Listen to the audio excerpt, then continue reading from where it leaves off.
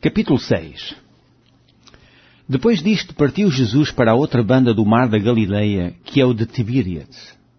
E grande multidão o seguia, porque via os sinais que operava sobre os enfermos. E Jesus subiu ao monte e assentou-se ali com os seus discípulos. E a Páscoa, a festa dos judeus, estava próxima. Então Jesus, levantando os olhos e vendo que uma grande multidão vinha ter com ele, disse a Filipe, Onde compraremos pão para estes comerem? Mas dizia isto para o experimentar, porque ele bem sabia o que havia de fazer. Felipe respondeu-lhe, Duzentos dinheiros de pão não lhes bastarão para que cada um deles tome um pouco.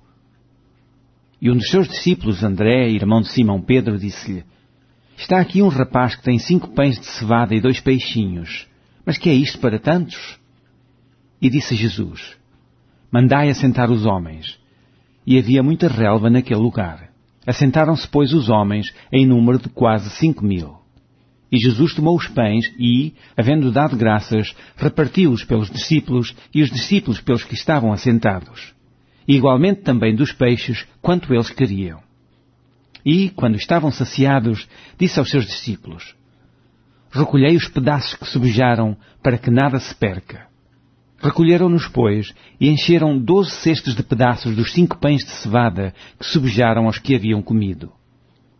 Vendo, pois, aqueles homens o milagre que Jesus tinha feito, diziam, Este é verdadeiramente o profeta que devia vir ao mundo. Sabendo, pois, Jesus que haviam de vir arrebatá-lo para o fazerem rei, tornou a retirar-se ele só para o monte. E quando veio a tarde, os seus discípulos desceram para o mar e, entrando no barco, passaram o mar em direção a Capernaum, e era já escuro, e ainda Jesus não tinha chegado ao pé deles. E o mar se levantou, porque um grande vento assoprava, e, tendo navegado uns vinte e cinco ou trinta estádios, viram a Jesus andando sobre o mar e aproximando-se do barco, e temeram. Porém ele lhes disse, Sou eu, não temais. Então eles de boa mente o receberam no barco, e logo o barco chegou à terra para onde iam. No dia seguinte, a multidão que estava da outra banda do mar, vendo que não havia ali mais do que um barquinho e que Jesus não entrara com seus discípulos naquele barquinho, mas que os seus discípulos tinham ido sós, contudo outros barquinhos tinham chegado de Tiberíades, perto do lugar onde comeram o pão, havendo o Senhor dado graças. Vendo, pois, a multidão que Jesus não estava ali, nem os seus discípulos, entraram eles também nos barcos e foram a Cafarnaum em busca de Jesus. E, achando-o na outra banda do mar, disseram-lhe, Rabi, quando chegastes aqui?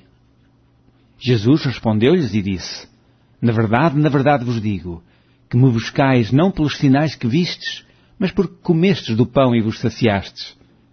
Trabalhai não pela comida que perece, mas pela comida que permanece para a vida eterna, a qual o Filho do Homem vos dará, porque é este o Pai, Deus, o selou. Disseram-lhe, pois, faremos para executarmos as obras de Deus? Jesus respondeu e disse-lhes, A obra de Deus é esta, que creiais naquele que ele enviou. Disseram-lhe, pois, Que sinal, pois, fazes tu, para que o vejamos e creiamos em ti? Que operas tu? Nossos pais comeram o maná no deserto, como está escrito, deu-lhes a comer o pão do céu. Disse-lhes, pois, Jesus, Na verdade, na verdade vos digo, Moisés não vos deu o pão do céu, mas meu Pai vos dá o verdadeiro pão do céu. Porque o pão de Deus é aquele que desce do céu e dá a vida ao mundo. Disseram-lhe, pois, Senhor, dá-nos sempre desse pão. E Jesus lhes disse, Eu sou o pão da vida. Aquele que vem a mim não terá fome, e quem crê em mim nunca terá sede. Mas já vos disse que também vós me vistes, e contudo não credes. Todo o que o Pai me dá virá a mim, e o que vem a mim, de maneira nenhuma lançarei fora. Porque eu desci do céu não para fazer a minha vontade, mas a vontade daquele que me enviou. E a vontade do Pai que me enviou é esta, que nenhum de todos aqueles que me deu se perca, mas que o ressuscite no último dia. Porquanto a vontade daquele que me enviou é esta, que todo aquele que vê o Filho e crê nele tenha a vida eterna, e eu o ressuscitarei no último dia.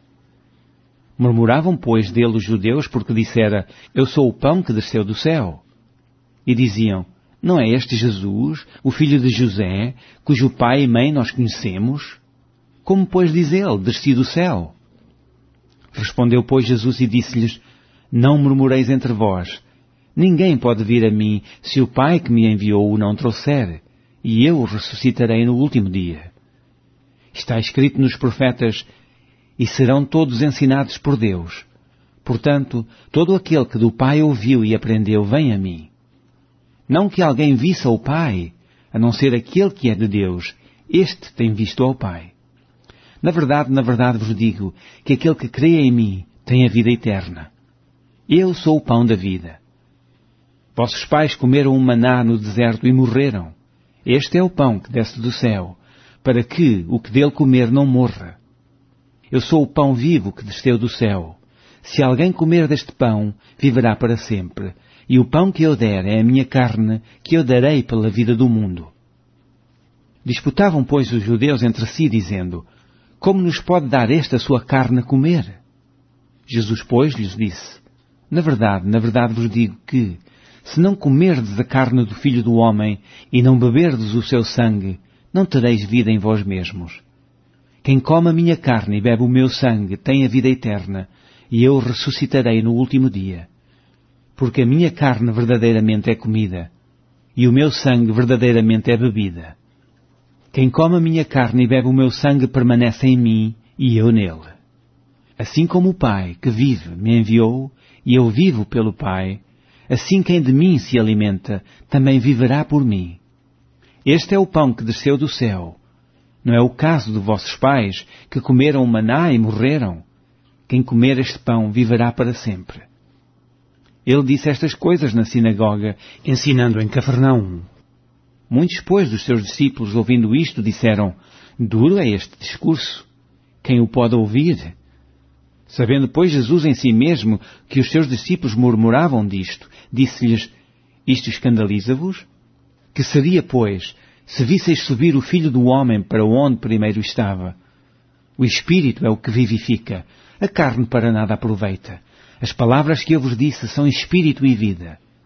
Mas há alguns de vós que não creem, porque bem sabia Jesus desde o princípio quem eram os que não queriam e quem era o que o havia de entregar. E dizia, Por isso eu vos disse que ninguém pode vir a mim se por meu Pai lhe não for concedido.